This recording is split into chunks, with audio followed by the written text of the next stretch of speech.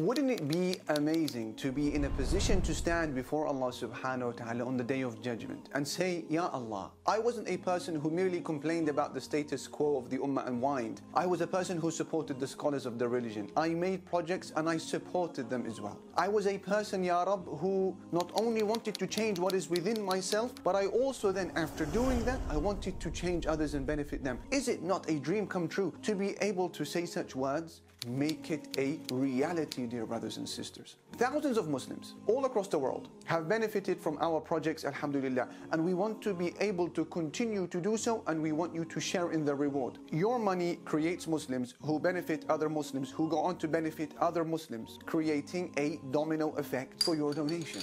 And at this moment in time, we require 100 people to donate 100 pound each to help us reach our goal. May Allah subhanahu wa ta'ala make you a means of guidance.